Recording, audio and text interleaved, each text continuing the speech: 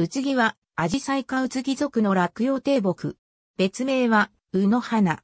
エングラー体系では、雪の下かで分類される場合もある。和名なうつぎの名は、うつぎの意味で、茎が中空であることからの命名であるとされる。花はうずきに咲くことから、うの花とも呼ばれ、古くから初夏の風物詩とされており、清少納言の随筆、枕草子には、うの花と同じく初夏の風物詩であるホトトギスの鳴き声を聞きに行った清少納言一行が、うの花の枝を折って車に飾って帰郷する話がある。近代においても初夏、夏はコヌで歌われるように初夏の風物詩とされている。日本と中国に分布し、日本では北海道南部、本州、四国、九州に広く分布する。山野の路傍、崖地、人里など日当たりの良い場所に普通に自生し、畑の生垣にしたり観賞用に植えたりする。幹は木釘に加工されて利用される。落葉紅葉樹の低木。樹高は2から4メートルになり、よく分子する。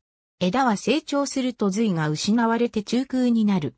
株立ちし、樹皮は肺褐色で古くなると剥がれる。新しい枝は赤褐色を帯び、正常毛が生える。葉の形は変化が多く、卵形、楕円形、卵状皮疹型になり、傭兵をもって耐性する。葉には正常毛が生える。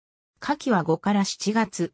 枝先に円錐果状をつけ、多くの白い花を咲かせる。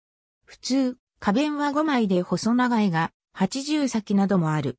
額には正常毛が生える。果実は果てで秋に熟す。変種の微量度うつぎのほか、多くの品種がある。うつぎ属に属する種の他にも、何々うつぎという名の木は次のように数多く、花の美しいものや、葉や見かけがうつぎに似たものなどがある。